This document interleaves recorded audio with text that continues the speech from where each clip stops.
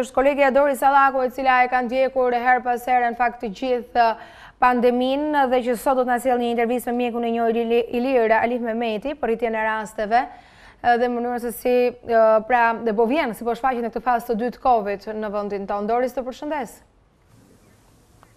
Të përshëndes Aida, gjatë javës së fundit kemi lënë pas shifra rekord mund të themi të rasteve të reja ditore me Covid nëntëmbëdhjetë, shifra që nuk i kemi hasur asnjëherë më pra gjatë këtyre shtatë muajve të epidemisë në vendin tonë. Në njëzet e katër orët e fundit kemi pasur të konfirmuara dyqind e tetëdhjetë e një raste të reja, shifër kjo pra që ka vijuar në rritje.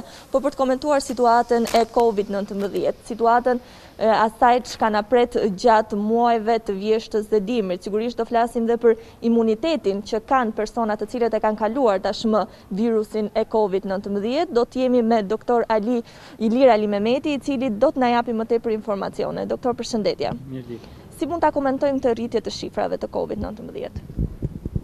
Disa arsye, patjetër, së pari është ftohja e motit, Ne dimë që çdo virus respirator do shfaqet me më shumë raste gjatë periudhës kur ftohet moti. E dyta, sepse ne vetë, përveçse na bie imuniteti kur mot, ftohet moti, edhe ne vetë fillojmë qëndrojmë në ambiente më të brëndshme, të cilat ne dimë që është faktor risku për këtë virus, si dhe viruse të tjera respiratore, qëndrojmë më të grumbulluar, harxhojmë më shumë kohë me njëri-tjetrin, ndryshe nga ç'ndodh në verë.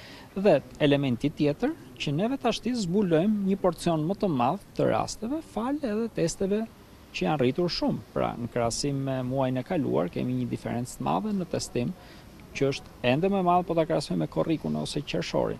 Kështu që arrijmë të gjejmë një përqindje më të lartë, por atë që vëmë re, vëmë re përqindjen e testeve që dalin pozitive. Pra, dy ditë e fundit kjo ka qenë 21-22%, ndërkohë që java tjetër ka qenë diku ke 18%, Dhe java më parë akoma ishte diku ke pesëmbëdhjetë përqind. Pra rritja mund ta shohim ke përqindja e testeve pozitive. Sa për krahasim, në gusht kjo përqindje ka qenë njëzet e katër përqind. Pra që do të thotë, për të kuptuar ju, diferencën e testeve kur shtohen në nivel absolut, patjetër do zbulojnë dhe më shumë. Por nuk është kjo arsyeja e vetme. Dhe testet shumë mirë që janë shtuar, se bëjnë të mundur që njerëzit të izolohen për të mos infektuar të tjerë. Ndërkohë kemi dhe persona të cilët po e kalojnë këtë sëmundje në shpi. Është thënë që do të kemi skuadra të lëvizshme të cilat do t'u japin një trajtim më të specializuar këtyre pacientëve, por aktualisht kemi një numër goxha të lartë, janë diku te rreth gjashtë mijë persona në shtëpi të cilët po trajtohen. Atëherë do interesohem ke organi që i menaxhon këto skuadra të lëvizshme, nuk kam informacion për këtë, kështu që s'mund të them, por mjeku i familjes është kyç në menaxhimin e rasteve në shtëpi dhe është një element i mirë që ai të futet dhe të komplementojë sistemin shëndetësor sa më shpejt që të jetë e mundur, në mënyrë sa më të informuar. Është kyç, është i rëndësishëm. Ne presim që me ardhjen e vjeshtë-dimrit, pra sezon që tashmë po e prekim dhe po shohim pra që faktikisht po ndodh kjo rritje e rasteve, A mund t'i frikësohemi dhe shtrimeve në spital, duke qenë se kemi dhe sezonin e gripit për t'u ndalur më pas dhe tek vaksina e gripit? Gjithmonë ne e dimë që nga fillimi, nga identifikimi i rasteve deri tek shtrimet, rritja e shtrimeve në spital kalojnë disa javë, pak, dy deri tre, po edhe më pak ndonjëherë në disa raste. Kjo mbetet për t'u parë se sa porcion të këtyre rasteve ne kemi arritur të gjejmë dhe sa mirë këto trajtohen në shtëpi për të për të logjikuar më pas spitalet. Kemi vënë re ama që shifrat në spital janë duke u rritur. Pra janë duke u rritur, me të vërtetë nuk janë duke bërë bum, por janë në rritje konstante dhe rritja vazhdon. Që do të thotë, këtu duhet të mbajmë kujdes sepse gjithë koncepti i masave, gjithë koncepti i mbylljes madhe që u bë në mars dhe prill u bë pikërisht me logjikën e ruajtjes burimeve spitalore. Prandaj është shumë pikë kyçe që ta shohim spitalin, edhe sepse në fund fare si çdo smundje, Ai është momenti që na intereson. Pra ne nuk shqetësohemi shumë për një sëmundje që nuk shkakton gjë të rëndë. Shqetësohemi për një sëmundje që kërkon hospitalizim apo terapi intensive. Prandaj është pikë kyçe që ne ta shohim atë. Ju përmendët dhe terapinë intensive, faktikisht me rritjen e shifrave të personave, si në infektime, por dhe në shtrime në spitale, është rritur dhe numri i personave që kanë nevojë për terapi intensive, janë njëzet e pesë qytetarë, që më parë nuk kemi pasur një numër të tillë. Patjetër, kjo është e pritshme, sepse ne dimë që një përqindje, edhe pse e vogël, e rasteve të infektuara ka nevojë për terapi intensive. Në qoftë se është kjo përqindje është fikse, le të themi 1%, në qoftë se kemi 100 raste, ky është 1, në qoftë se kemi 10000 raste, kjo është 100. Pra, ë kjo është në varësi të rasteve totale, jo të ndonjë çudie ndryshe me virus. Është thjesht rastësi, fakt që raste ka më shumë në popullatë dhe kryesisht në zonat urbane. Vaksina e gripit ka nisur më herët këtë vit për grupet e riskut dhe këshillohet që të kryhet gjerësisht në popullatë, pra edhe nga mosha të reja. Na mbron vaksina e gripit jo vetëm nga gripi, por dhe virozat e tjera, çka ndoshta do na ndihmonte imunitetin tonë në përballje me Covid? Ka disa diskutime të gjitha pozitive drejt vaksinës gripit. Së pari mbron nga gripi vetë dhe ne kemi katër viruse që llogaritet të xhirojnë hemisferën veriore, AH1N1, AH3N2, B Phuket dhe B Washington, pra një vaksinë tetravalente ndaj këtyre katër viruseve, eliminon gripin. Pse e them këtë? Në një studim të bërë në Angli, personat që i kanë të dyja njëkohësisht kanë vdekshmëri shumë më të lartë nga COVID-19, 2.2 herë më shumë. Pra, mos t'i kesh të dyja ndihmon, e para. E dyta, ndihmon mjekun për të dalluar menjëherë dhe shpejt që është Covid dhe jo grip, sepse je i vaksinuar dhe do të thotë që ai fillon trajtimin më herët. Pra, nuk i kalon kjo periudha dyshimit, është apo s'është Covid. Dhe më pas, disa studime, një i bërë nga Universiteti Basel dhe një tjetër i bërë nga Mayo Clinic në SHBA, tregojnë që personat që vaksinohen me grip brenda një viti, ju e dini që vaksina gripit është vjeçare, kanë një ulje të riskut për t'u infektuar nga SARS-CoV-2 25 deri 30%. Dhe dhe ata që infektohen, e tregon Universiteti i Bazelit, kanë një ulje të vdekshmërisë me rreth pesëmbëdhjetë për qind, që do të thotë në mënyrë jo specifike dhe jo të drejtpërdrejtë kjo vaksinë ndihmon dhe për Covid nëntëmbëdhjetë. Po personat të cilët e kalojnë Covidin, pra e kanë mundur këtë virus, sa u zgjat imuniteti? Çfarë mund të themi pikërisht për këtë pjesën e imunitetit që është diskutuar shumë, disa thonë zgjat tre katër muaj, gjashtë muaj, A ka studime të sakta të cilat mund të na thonë se sa zgjat ky imunitet? Atëherë, çfarë kemi ne sot? Kemi atë çka njohim nga imunologjia, e dimë që antitrupat në qarkullim të matshëm, pra nga kapaciteti jonë i matjes laboratorike, sepse biologjia nuk është se nuk ekziston vetëm se ne nuk arrijmë ta masim atë. Ajo bën punën e saj. Ne arrijmë të shohim që antitrupat në nivele të matshme janë diku rreth tre deri pesë muaj si mesatare, si interval mesatar. Dhe pastaj bien. Dhe kjo është e natyrshme për çfarëdo lloj virusi. Kjo ndodh dhe kjo pritej të ndodhte dhe kjo ndodhi dhe me këtë virus. Ajo që imuniteti ka plus si sistem, sepse është disa qindra miliona vjeçar si sistem që është evoluar, ë krijon qeliza kujtese, qoftë limfocite B, qoftë limfocite T, kujtese. Në momentin që hyn për herë të dytë, i njëjti virus apo i ngjashëm në trupin tonë, këto aktivizohen përnjëherë dhe fillojnë të prodhojnë antitrupat në mënyrë shumë të shpejtë. Pra, ajo antitrup që u deshën disa javë për t'u prodhuar, 2 deri 3 në fillim dhe i la kohë sëmundjes të na dëmtojë, tani formohet shumë shpejt. Pra, ul dhe mundësinë e reinfektimit, po dhe në qoftë se reinfektohesh, nuk zhvillon sëmundje të rënda, flasim në përqindje të lartë të rasteve. Dhe për ta diskutuar më tej, ne sot kemi 6 raste të dokumentuara plotësisht në gjithë globin, për sa i përket reinfektimeve dhe nga krahu tjetër, po të shohim ne kemi rreth 40 milion njerëz të njohur që funksionojnë me këtë dhe një studim shumë i mirë i Universitetit Rochester thotë imuniteti zgjat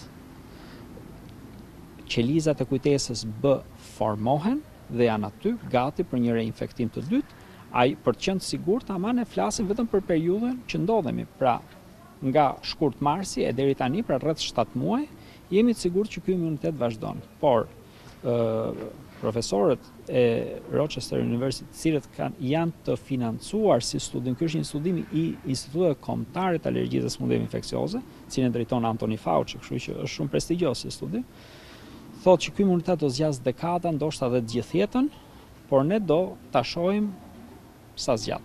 Në këto shtatë muaj kemi gjashtë raste ndër dyzet milionë. Bëjeni pjestimin vetë, del afro një ndër ndër trembëdhjetë, katërmbëdhjetë milionë.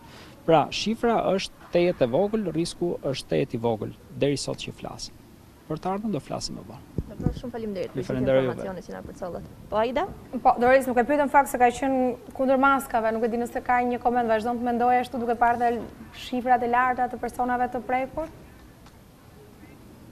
Doktor, një pyetje që vjen dhe nga studio, nëse do mund të kishim një koment në lidhje me maskat, mbajtjen e maskave brenda dhe në ambiente të jashtme pra tashmë me detyrim.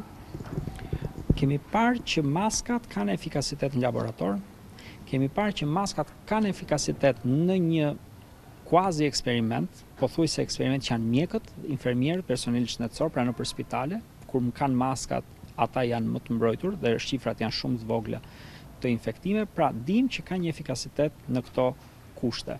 Ë efikasiteti ekziston edhe pse më i ulët në ambiente të mbyllura, me shumë njerëz, por distanca është kyçe Pra, në momentet kur s'ke ç't'i bësh distancës, në zyrë je me shumë njerëz, ajri është me qarkullim të brendshëm, tani do ftohet moti dhe dritare do mbyllen, sepse fundi i fundit vret më shumë pleviti se koviti, shprehje popullore e kohëve të fundit kjo.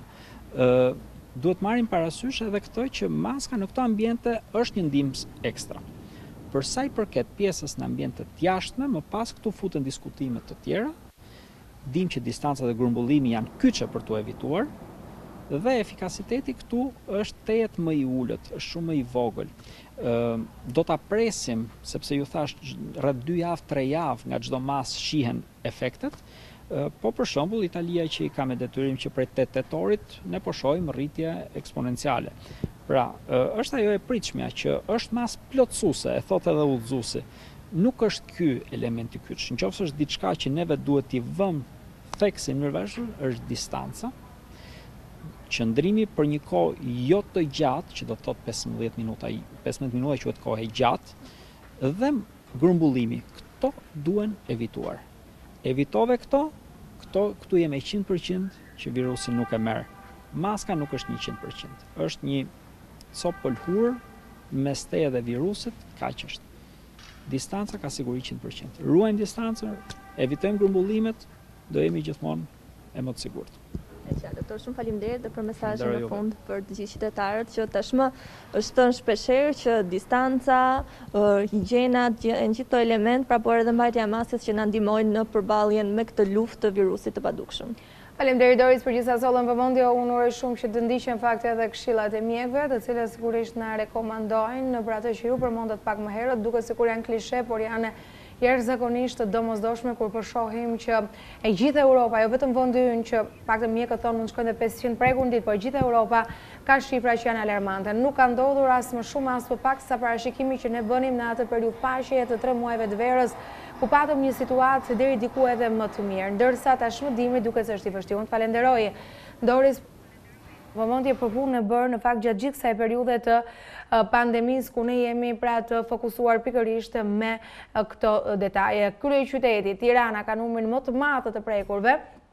Është tabela në fakt që e vërteton një gjë të tillë me kalkulime që vijnë në rrugë zyrtare nga ministria, e cila i kalkulon nëpërmjet burimeve dhe sigurisht institucioneve të tjera të varësisë. Pak a shumë dimë edhe grupmoshën në fakt se sa është grupmosha e personave që preken kryesisht dhe kush janë më të rrezikuarit, nuk ka ndryshuar asgjë pavarësisht se cilësohet si një virus i pabesë që do të thotë ka marrë jetë njerëzish, ka marrë jetë të rinjsh. Fëmijët për fat të mirë janë ata që edhe pse e përcjellin të paktën nuk preken dhe nuk lënë pasoja, por që gjithsesi kujdesi duhet të jetë i madh. Grupmoshat, moshat e treta janë ato të cilat vuajnë le të themi pasojat madje edhe me jetë njerëzish të të, të humbura pra beteja të humbura ne i kemi parë se çfarë sjelli ka patur Covid kundrejt grupmoshave të treta Na mbetet të ruajmë distancën, na mbetet të mos frekuentojmë ambiente të, të mbyllura. Po të bëjnë një vëzhgim në fundjavë, kemi parë që të paktën në kryeqytet qendrat tregtare janë vërtet problem se ka një numër të madh njerëzish që nuk, nuk diskutojnë as çështjen e distancës po mbajtjen e maskave. Kjo duhet pra në çdo hap që ne hedhim, që në orët e para të ditës në institucione, deri kur mbyllim pra aktivitetin. Kryeministri ka lënë të kuptohet se deri më tani nuk ka një plan për të shtrënguar të paktën baret, restorantet, kinema të cilat u hapën apo për një mbyllje, por gjithsesi kjo do të varet nga ajo se çfarë do të sjellë COVID-19 edhe në vendin tonë. Sigurisht që situata është problematike, unë dua të referohem edhe një herë asaj se çfarë thonë pra mjekët parashikime që mund të arrijmë deri në 500 persona të prekur edhe gjatë ditës. por gjithsesi në 24 orë. Pra gjithsesi të shohim se çfarë realisht do të ndodhë. Sigurisht që kjo tabelë tregon edhe numrin e rasteve ditore të të testuar, tregon gjithashtu edhe persona që kanë humbur jetën. Janë mbi 1760 persona të cilët pra u testuan në 24 orët e fundit. Kemi patur 280 një raste dhe janë në spital dyqind e pesëdhjetë e gjashtë të shtruar, njëzet e pesë janë për fat të keq në terapi intensive dhe urojmë që ta kalojnë këtë lloj situate. Shtatëdhjetë qytetarë u shëruan nga virusi në njëzet e katër orët e fundit, një virus i cili është shtrirë në institucione, në shkolla, në gjykata, ne i kemi parë pra dhe nëpërmjet raportimeve të kolegëve tanë.